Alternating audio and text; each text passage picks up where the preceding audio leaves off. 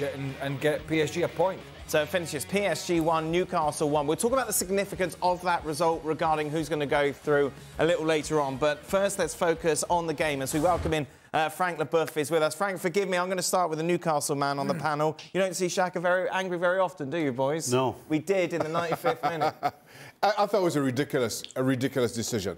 Um, it, it, goes against the grain of, of, everything, kind of my own experiences as, as, as a footballer. It, it, goes against when I was on the, on the IFAB advisory panel, how we were trying to reshape the handball law.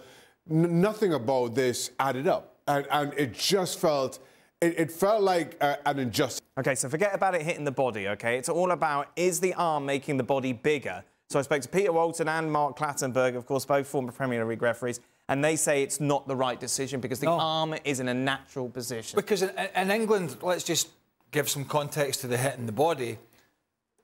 IFAB changed the rules to take hitting the body out of the equation, then it deflects onto the arm. The old rule was once it deflected off a thigh or, or any part of the body onto the arm, it wouldn't be a penalty. They changed that.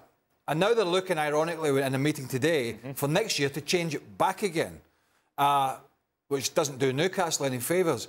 But in England, Premier League, they tried to go with this early on, two or three years ago, and decided, no, it, it was a disaster. So they've gone their own way. This would not have been a penalty in England.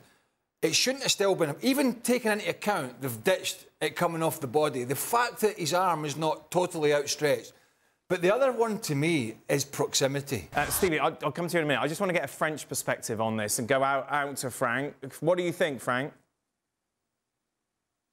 Well, I agree with the guy, um, especially with Shaka, that I felt that that was the only way, and uh, it was about to come to see Paris Saint-Germain getting something out of the game. And we felt, uh, even in France, and, the, and some pundits like Samir Nasri or David Ginola said it, that we, we all felt that uh, Paris is going to get something out of it. And it's crazy because it, that penalty doesn't make any sense because, and you rightfully showed it before, you have the Miley situation, which is completely the same situation. Mm -hmm. Touches the body, then, then, then the arm, running, having a normal, uh, a normal position, and, uh, and not asking the ref to go to the VAR. But because you're not at the end of the game, you're not at the 98th or 97th minute, you don't ask the ref to go to the to, to VAR, but because on that special minute, you ask then the ref to go to, the, to see the VAR, and the ref feel the pressure, and he has to give the penalty. But it's not a penalty. Nobody wants to believe that. Uh, that's stupid because the positioning of the of the body is only natural, and I think it's uh, it's really unfair to uh, to Newcastle for me. They did have 31 shots, Stevie. Overall, could you say that PSG deserved a draw? Well, yeah, absolutely. Well, PSG deserved something from the game. Um, personally, I think they were the better side. Personally, I think they deserved to win the game. Right. But that really doesn't count anymore yeah. because of what's happened. And, and I'm absolutely with Frank and Shaka that the VAR and the referee have just caved into pressure because not only was the was there another shout for a penalty with Miley, mm -hmm. there was also a challenge on uh, Hakimi mm -hmm. that, that VAR looked at, they didn't give. And so for me, the only real explanation is they've kind of caved in. You know, three, three VAR looks, three strong shouts, supposedly, and they've just decided at the end to give one. And, and actually, I'll take the VAR away. Because, particularly myself, I'm always saying the referee should have the last word. And so at the end of the day, it's the referee that's caved because he has the final say. Yeah. Even though they brought him to the to the to the, the, the monitor, he can still make his own mind up what he thinks because his decision is the only one that really matters. But he's caved in as well. But, so. but the Gordon challenge on, on Hakimi was there was barely anything in that at all. But, it, but they still had a VAR look at it, and, and so and so the, the, you, you, get the feeling that the, the and the Miley arm was down by his side. I mean, this is mm-hmm. just I, I you know and I've been you know following Ian Darke and others on social media. Everybody, a lot of us are big advocates and have been big advocates for VAR. But VAR this this year in particular, I think, is across the board, uh, from the Premier League to, to Champions League to, to Bundesliga, Serie A, La Liga, you name it. It's absolutely gone. It's gone. We're taking. We're now. We're now doing. We're now really micro managing and refereeing the games. It's gone it has gone to the place that they didn't want it to go, and that is re-refereeing mm. almost everything. And whilst I don't want to just chuck the baby out with the bathwater here, I, I do think they're going to have to scale, and I don't think they will, but I really do feel they should scale it back to allow the referee the on-field decision-making and instinct. So we could be looking at Hawkeye over the line, offsides, off the ball incidents, and then let the re referee referee the game. But that's why we've got VAR. So we're not relying on a referee who has to make yeah, a decision but we've got to a stage in a split now, second. Yeah, but we've got to a stage now. We are re-refereeing all these minute decisions, and come on, that's it's actually putting the referee under pressure to to not make a big decision. I know plenty of people have had this discussion where you could make the argument referees have got worse, right? Because they know they have that parachute. The safe, safety blanket. The safety blanket is there when, uh, I tell you what, I'm not going to make that call.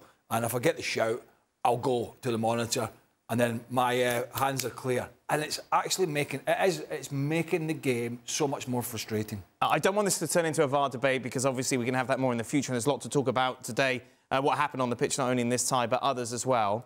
Why didn't PSG steamroll this Newcastle side that's just band-aid together? Because because they aren't, they don't have the ability to do that. And you've got to give Newcastle a lot of credit. You know, you're absolutely right. You know, they had today they had two goalies on the bench. At the weekend when they battled Chelsea, they had three. And young Miley plays again, 17, 18 years old, whatever he is. Uh, again, Lascelles is, Lascelles is in at the back, and uh, just a, an absolutely terrific effort from Newcastle, defensive effort. And you know, Pope had to make a few saves. Dembele was wasteful. Mm-hmm. Mbappe was wasteful in the first half with that flick. But, you know, they, they're, I think their times G is something crazy, PSG. But who's won and lost the game by stats? So uh, most of the credit for me goes to uh, the Geordies. Yeah, Newcastle, who just show this team mentality once again, Yeah, and listen, I, I really sympathise with, with, Eddie Howe and the position that he's found his, his, himself in. Uh, was it seven players on the bench. Craig already mentioned two goalkeepers. All the others were, were teenagers and didn't have anybody to call on. Didn't make a single substitution all game long just because they're just down to the, to the bare bones. Alexander Isak, just back from injury. I, I think you, you saw him, he tired late on. He was unable to, to hold the ball up. He wasn't able to chase back. So in, the end, Newcastle kind of defended with 10 men. And, and, to be fair, I thought Newcastle did as good as you could expect. And I was commenting on the fact that I barely knew what Donnarumma looked like for the first 20 minutes or, or, or so. Um, but then Donnarumma, all, it, both of, of, Newcastle's early chances came from one, a, a, poor pass out from him, and then, and then the, the, the spill, which, which I, again, I, I find hard to explain. You get yourselves in front, and now you have something to defend. And, and Newcastle can do, and they show that they, that they can do that and they battened on the hatches. Um, I, I, thought, I thought, as, as well as Nick Pope played, as well as Newcastle played defensively, you're right, PSG absolutely battered Newcastle, but for want of, a better finishing. I thought their finishing was, was poor um, and maybe at times a little bit unlucky, and as a result, um, almost didn't get anything out of this. We expected a response then from PSG going 1-0 down, Frank, after dominating the opening 20 minutes. It didn't really come until like the final 20 minutes of the tie. And even in the, in the end, in the final third, they were extraordinarily wasteful. Yes, mainly because of Newcastle and the way that Eddie Howe uh, uh, planned everything. And I have to say that first half, I was very impressed by the way they were defending, but the way how they were capable of keeping the ball technically, tactically, how they were working all together. That was very impressive. Second half, yeah, they park, as we say, with they park the, the bus, uh, but they drop in a very smart way. And I have to say that Guimaraes, Joelinton, and Miley did a hell of a job uh, in the middle of the park, working for everybody, uh, uh, getting the spaces and making sure that uh, it was impossible for Paris Saint-Germain to go inside, uh, to go outside. And we all know that Paris Saint-Germain, they cannot cross the ball because there is nobody capable of making a header. That, that's one of the worst team in Champions League uh, about uh, uh, um, on, on, about headers and everything. They they're not good at that. So uh, how they planned it, uh, and how the, the game went on is because mostly of Newcastle. But of course, uh, Mbappe wasn't there the, most of the game. Uh, Dembele was very clumsy, uh, uh, and some players who came on, Alonso, Asensio, and some other, they didn't bring what they, they, they had to bring. They missed so many obvious chances as well. And on top of it, you don't have Marquinhos at the back. As Shaka said, if Donnarumma keeps on making foul uh, mistakes, it's not going to work. It's impossible. Frank, what would they be saying in France about this performance from PSG? You mentioned it. You've got Mbappe, you've got Muani, really good players who just didn't turn up. And we see this time and time again, I feel.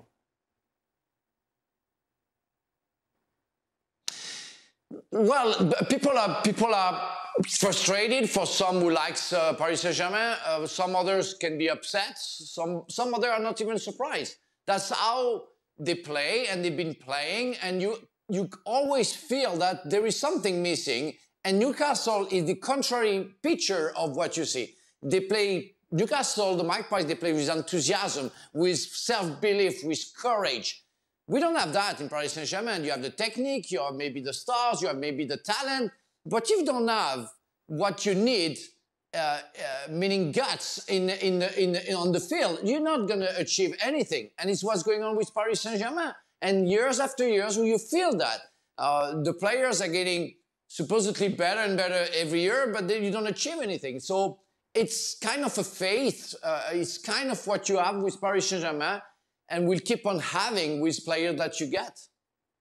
You wouldn't put your money anywhere near them, would you? Oh, they're, they're, to answer your question, they're a one-man band is what they are. You can't rely on anybody in that team, apart from Mbappe. It's down to him. If he's on his game, they win the game. If he's not, they don't win the game. I mean, it really is that simple. They're a one-man band. Who, who, who, who do we ever talk about in PSG? It's only, it's only ever him.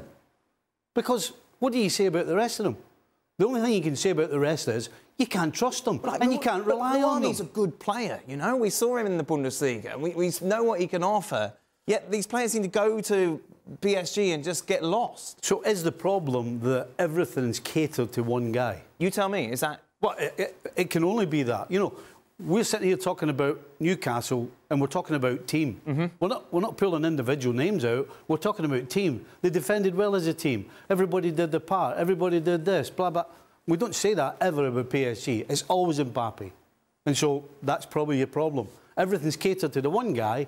And if that one guy isn't quite at it or doesn't quite fancy it or for whatever reason, then they don't succeed. Which is what more or less learned Luis Enrique over the past couple of months is I'm going to say hinted that, but probably stronger than that. Yeah.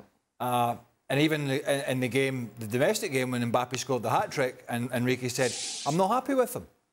Yeah. Uh, and to back up sort of what Stevie's saying, I, I, think if in an ideal world, if he was to be given uh, a framework for two or three years guaranteed, and he could shake Mbappe off to, to Real Madrid, which is probably going to happen, but it's going to maybe take a little bit of time and then rebuild the team as a, more, as a team, I think that would be his preferred option. But again, we're looking at time here. Who's going to get that time? At a club that, that, is, that is still searching, that spends money. But they've tried all this before with the big, it was Neymar and Messi, it was all three of them. He's the one real big superstar. Yes, to have Zaire Emery to come back in, the youngster, brilliant young talent, but Kolo Muani and Dembele, who's as flaky as hell, oh. we know that. Uh, and we saw it again tonight. But he wants more of a team. Now, the big question is, for every manager there, are they going to get the time to do that? And the answer is, is probably no.